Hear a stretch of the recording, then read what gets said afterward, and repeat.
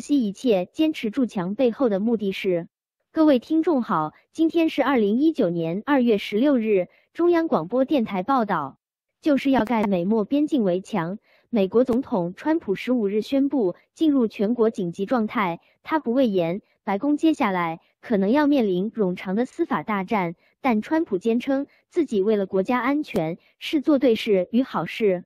川普十五日上午在白宫玫瑰花园宣布，他除了签署国会通过的预算法案之外，也根据国家紧急状态法宣布美国进入紧急状态。他对接下来可能引发一连串的法律战。了然于胸，还如吟唱饶舌般细数可能从联邦地方法院到最高法院的审理过程。他说，如果能得到公平审理，筑墙的紧急命令最终能在法律审理中胜出。川普指出，从国会制定国家紧急状态法以来，多位白宫主人都曾动用过这一总统权力，这很少有问题，他们签就签了，没人在乎。他还说，在许多情况下，也有一些总统因毫不重要的事情宣布紧急状态，而南方边境洞开，美国遭到毒品、人口贩子及各类帮派及犯罪人士入侵，是真正危机。他自认宣布紧急状态做得很棒，是大好的事。不过，川普二零一四年曾经在推特发文批评时任总统奥巴马。在推动移民改革中的童年抵达者暂缓驱逐办法时，绕过国会，动用总统行政特权，自行颁布法令，是为图利自己，推翻美国宪法。而美国记者今天以同样标准挑战川普是否昨是今非，与双重标准，他则自认与奥巴马不同，他的做法才合情合理。川普反驳，奥巴马没透过国会的立法过程，但我有，奥巴马没拿到一块钱。我从国会拿到将近十四亿美元，还给我许多没要求的预算，但就是那道墙，他们编列的预算短少。川普宣称，在预算的法定程序上，他取得成功。虽然他可以继续好整以暇，慢慢盖墙，但他更想快点盖完。还坚称，他大可不必宣布紧急状态，因为为了连任，我已盖了好多墙。华盛顿邮报就质疑川普的动机，既然宣称。无需这么做，却又做了。说穿了，都是为了选举的权宜之计。华邮报道，在川普宣布紧急状态前的行政与立法折冲，国会共和党人曾试图安抚川普，他要五十七亿美元，联邦众议院仅编列近十四亿美元，可以视作是筑墙的头期款。最初听到消息的川普，还一度抱怨共和党议员失败无能，甚至陷入不愿签署开支法案。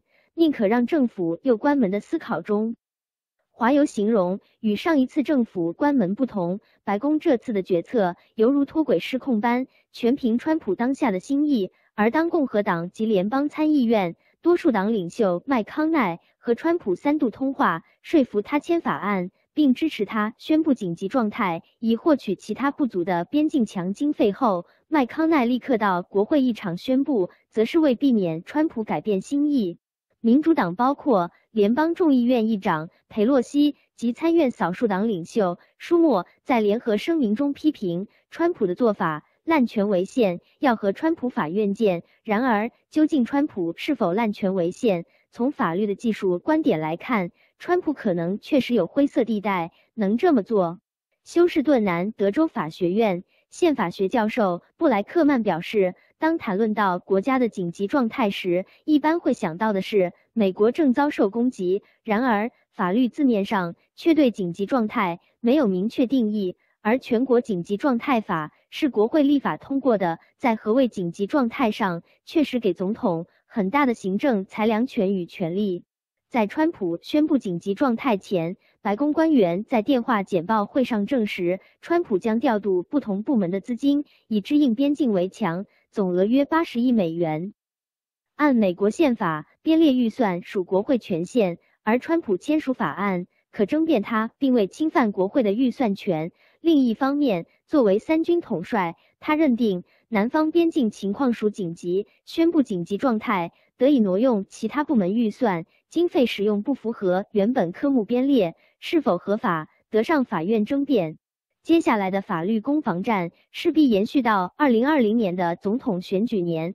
边境围墙也将成为川普竞选攻防主要议题，对他向基本盘诉求兑现竞选政见会有助力。但一道围墙，让两党原本在移民改革与边境安全议题上本就南辕北辙立场，距离将更遥远。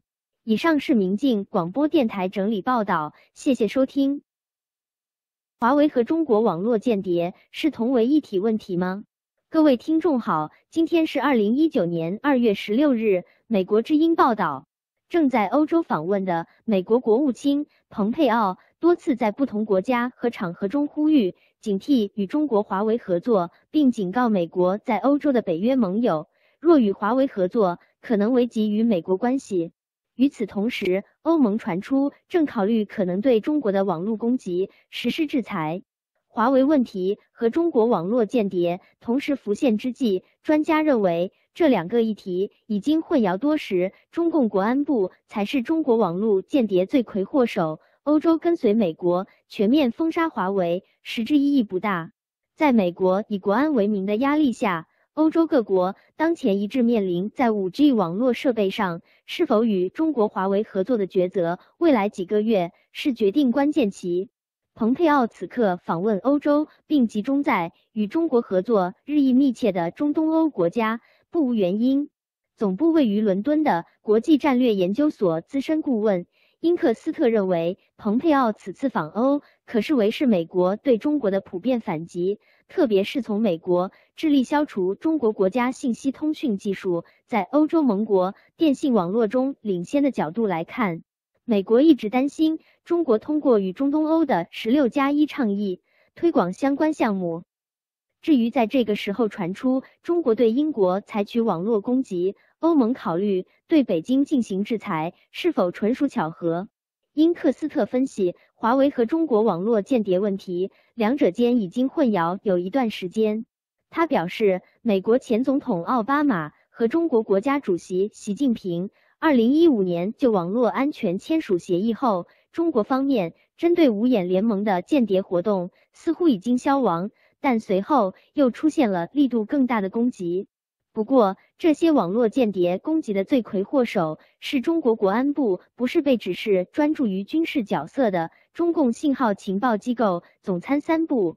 英克斯特指出，中共国安部和其非政府代理黑客组织高级持续性威胁时（简称 APT10） 和高级持续性威胁三 APT three 一直对。提供大量企业客户服务的托管服务网络进行攻击，中国破坏了承诺。美国和美国的盟友们已经受够了。美国司法部去年抵指 APT ten，在过去几年入侵美国在内的多国网络，窃取知识产权和其他讯息。英国则在今年一月底通报欧盟受到 APT ten 攻击。西方政府有理由对中国的网络间谍行为。持谨慎态度，但英克斯特认为，这种攻击并不需要依赖中国公司的存在。中国政府实际承担了许多根本不需要通过华为进行的网络间谍活动。英克斯特的观点与其他欧洲专家，包括英国政府通讯总部前负责人汉尼根在内类似，即华为和中国网络间谍不能全然画上等号。汉尼根日前才公开指出，鉴于 5G 规模和经济重要性，以及未来在产品和技术的发展上，欧洲跟随美国全面禁止华为并无意义。因克斯特则认为，在华为问题上，美国更关切的是依赖中国在关键服务和重要基础设施上的战略意义，以及中国在这些技术方面超越美国。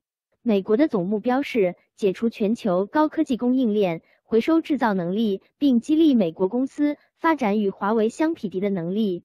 到目前为止，英国政府并未如同美国要求直接抵制华为。尽管英国国会情报与安全委员会指称华为危及国安，皇家联合三军研究所网络安全专家苏利文表示，网络安全问题不仅止于中国而已。减轻威胁的方式是，欧洲各个政府应加强监管理风险的能力。他认为，华为已让欧洲各国提高警觉。华为和中国网络间谍该如何分界？欧洲各国到底是否应跟随美国全面禁止华为，确实是个令人头痛的问题。一如曾指出，中国的道德和法律与西方不同的英国前海外情报机构军情六处处长杨格所言，这是一个比禁或不禁更复杂的问题。以上是明镜广播电台整理报道，谢谢收听。二零一九年的中国会经历痛楚。对世界经济影响难料。各位听众好，今天是二零一九年二月十六日。德国之声中文网摘录媒体报道：中美贸易争端是否会让中国经济元气大伤？中国会不会像当年日本那样陷入长期低迷？面对中国模式的挑战，西方主导的国际秩序是否还有生命力？周五的德语报刊评论版探讨了这些与中国有关的话题。杜塞道夫出版的《德国商报》以“松一口气，为时尚早”为题刊发评论，呼吁中美两国应当尽快解决贸易争端，否则，尤其是中国经济将会受到沉重的打击。文章注意到，两国的高官近期都在互访，为川普与习近平的最终会谈做铺垫，外界因此流露出了乐观情绪。这场贸易争端所带来的不确定性，正在损害世界经济。大家都希望中美能够达成一致，在全球经济增长越发疲软的当下，中美达成贸易共识将是一大利好。但是现在若是松一口气，还为时过早。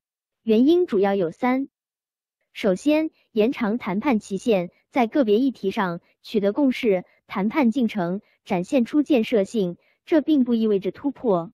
中国已有的让步措施。包括增购买美国产品、扩大本国市场准入，这比仍在谈判中的进一步让步要容易许多。美方要求中国停止政府补贴等扭曲市场的行为，但是这种做法会造成严重的经济以及社会后果，中国无法立刻全盘接受。要是中国只是部分削减对电动汽车的补贴，美国人是否又会满意呢？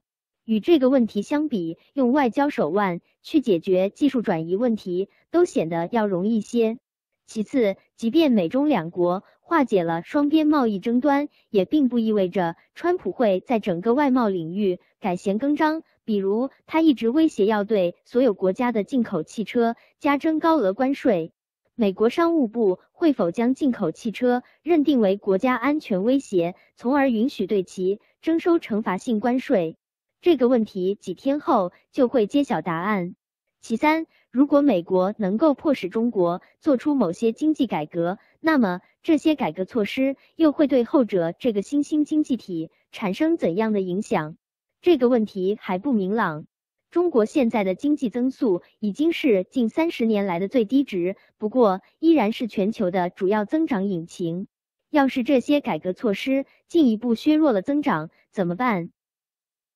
作者回顾了当年美国迫使日本在贸易争端中让步，签署广场协议，随后出现了严重的经济泡沫，最终导致了几十年的经济疲软。作者认为，对于中国而言，在中美贸易战中做出让步的长期后果很难预测，这同样关系到美欧甚至英国与欧盟之间的贸易关系。也许中国将不得不调整其经济发展规划。这可能会导致中国企业的就业岗位数量减少，也可能会导致中国企业迅速调整防线，在外部压力下反而获得了更高的全球市场竞争力。那些不依靠政府补贴、全球化运作的中资企业，和那些专注于国内市场、备受政府宠爱的国有企业，他们之间的鸿沟是否会进一步拉大？有一点很明确，对于中国而言。可能在贸易争端中达成与美国妥协的二零一九年，将会对其经济结构转型产生深远影响。二零一九年意味着中国会经历痛楚以及外部逼迫，但这一进程又会让其经济变得成熟，融入全球化的世界。二零一九年之于中国经济，就仿佛一九八五年之于日本经济。柏林出版的《每日镜报》之评论则关注了二月十五日开幕的慕尼黑安全会议。文章以“旧世界秩序坍塌，并非只是坏事”为题，认为制度竞争在线，西方模式将会在这场竞争中更加体现出其可贵之处。旧秩序基于一个由国际机构、准则、条约所构成的体系，它是由西方民主国家建立的。联合国、国际货币基金组织、世贸组织、北约、欧盟、欧安组织、欧盟基本权利宪章、不扩散核武器条约。但是，只有在一个国家需要为破坏规则承担后果的时候，这个旧秩序才有效力，或者说，需要有人来保护这个秩序。多年来，保护它的一直是美国，但是美国现在却丧失了兴趣，而且全球舆论是否还认可美国的这个角色，如今也取决于谁是美国总统及其形象。川普肯定不行，中国亦或俄罗斯现在不愿也不能接受美国以前的这个角色。中俄迄今的姿态都是符合自身利益时就利用秩序，有损自身利益时就破坏秩序。旧秩序的崩塌导致了风险上升，新秩序还没有浮现，但这也不只有坏的一面。这种局面迫使各国社会以及政府去思考，究竟有哪几条可选的道路，哪一条更好，哪一条更坏。那些本来已经被认为过气的联盟或集团，或许也会重新焕发吸引力。如今，大家时常谈论所谓的 G2，既有的超级大国美国。和新兴的超级大国中国将共同领导世界，但是这又会是怎样的一种既合作又对立的关系呢？这种局面是否会符合欧洲的利益？这些问题现在都没有答案。在过去的十年中，中国并没有像西方所期望的那样日益开放，从而走向民主与法治。相反，如今的中国越来越威权专制。对于许多人而言，西方模式依然具有吸引力。那些背井离乡的移民愿意去的是欧美，而非中国、俄罗斯或者阿拉伯国家。欧美国家拥有盟友，中国和俄罗斯则没有。基于规则的国际秩序尚未死亡。面对新模式的挑战，既有秩序反而更加展现出价值。对于欧洲而言也是如此。摘编自其他媒体的内容，不代表德国之声的立场或观点。以上是明镜广播电台整理报道，谢谢收听。习近平的红宝书，年代不同，更加智能。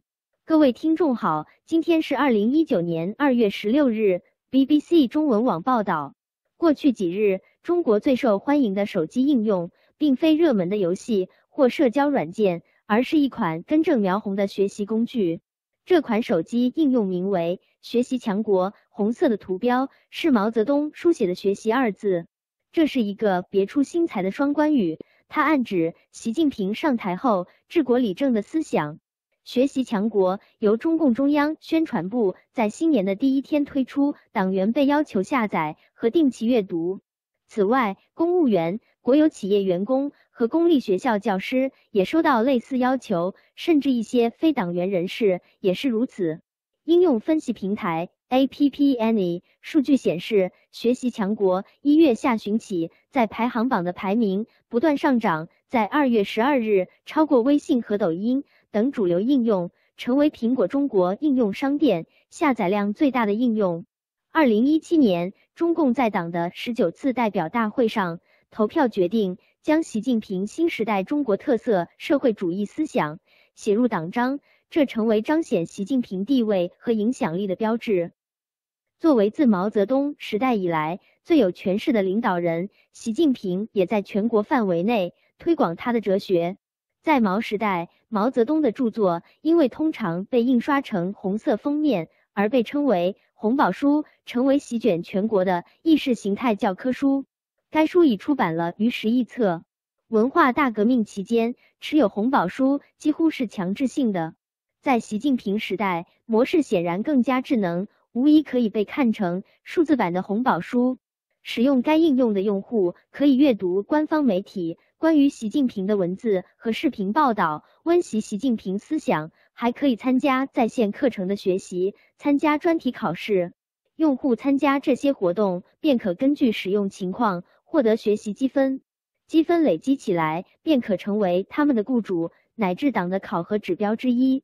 学习强国甚至还融入了社交元素，用户可以在应用里添加好友、创建学习组织，并给好友打电话、发信息，还可以发起网络会议。技术的进步和庞大的即时用户群，使人相信网络宣传的影响可能将远超印刷时代。毛泽东时代以来，中共党员数量增加了一倍多，还有不计其数的事业单位员工。在微博上，一名网友说自己的微信朋友圈被朋友们分享自学习强国的文章刷屏了，因为一个人要分享六篇才可够攒到积分上限。也有网友抱怨这款应用太过拘泥形式，并且内容空洞，浪费时间，纯粹是政治任务。一名来自山东的微博用户说，他每天必须取得六十六分。根据他发布的学习记录截图，这大约需要两个小时。有趣的是，根据积分规则，用户每天在早晨、午间和夜晚的一些时段使用软件，可以获得多倍积分。这被认为是鼓励用户利用闲暇时间，而不是上班时间来进行学习。如同很多媒体费尽心思希望吸引年轻一代的受众，习近平领导下的中共也一直寻求通过创新的模式来推广其理念。二零一八年，官方媒体中央电视台和湖南卫视推出了以习近平语录和思想为主题的电视节目。曾经枯燥的党的宣传口号被改造成表情包，在微信好友之间转发。上月，一部根据卡尔·马克思生平制作的动漫也在热门视频网站哔哩哔哩和优酷发布。相比之下，红宝书显得中规中矩，但它也已足够受到欢迎了。以上是明镜广播电台整理报道，谢谢收听。下面我们来学习一下如何在安卓系统下下载并使用明镜之声 APP。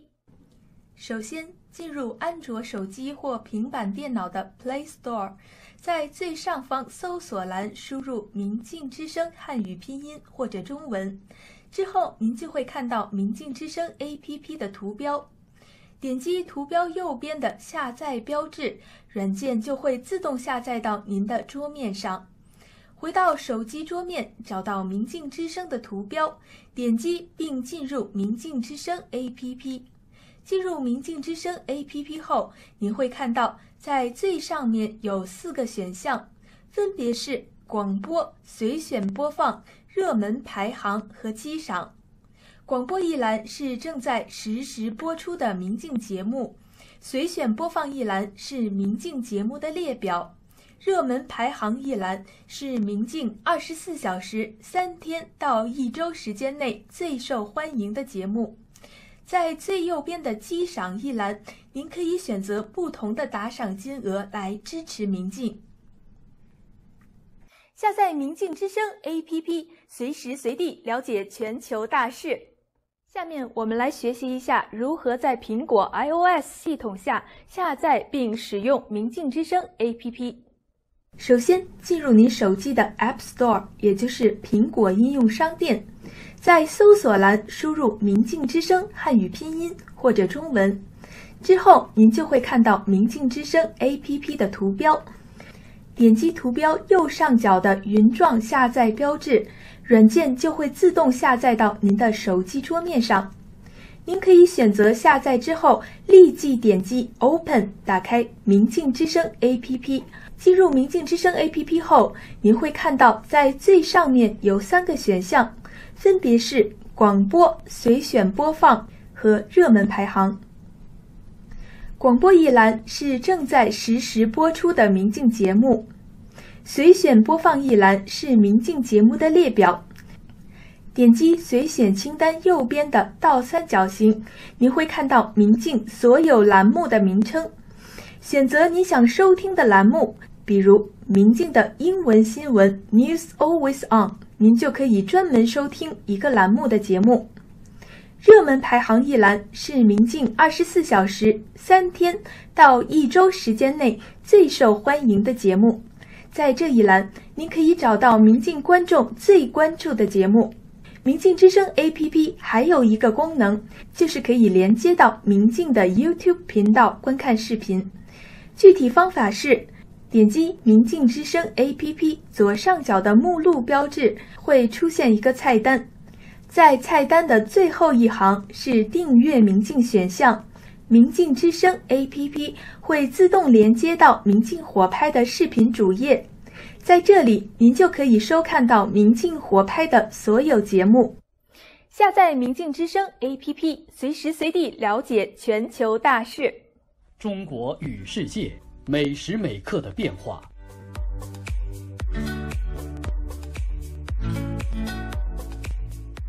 随时随地可以听到。请您立即下载“明镜之声 ”APP，您的随身收音机。